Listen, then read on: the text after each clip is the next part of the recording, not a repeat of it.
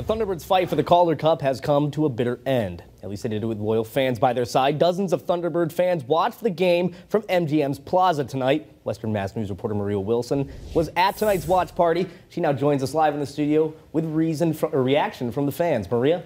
Glenn, fans traded in the Thunderdome for MGM's Plaza tonight, and while the Thunderbirds didn't play here in Springfield, that didn't stop fans from cheering them on together.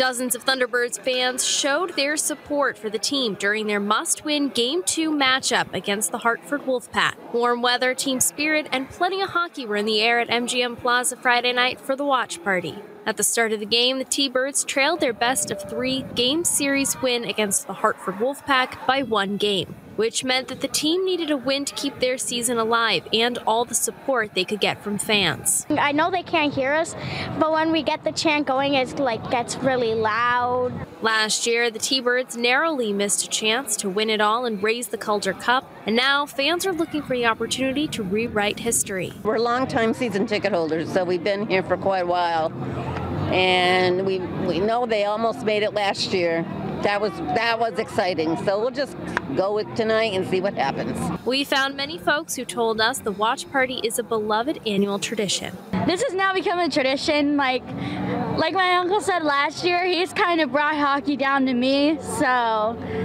I'm really excited to be back here with both my aunt and my uncle. We did this last year too.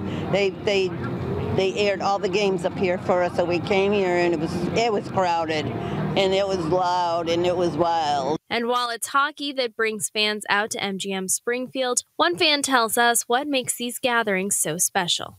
Because when all the Thunderbirds fans get together, it's like a whole big family and it's a lot of fun.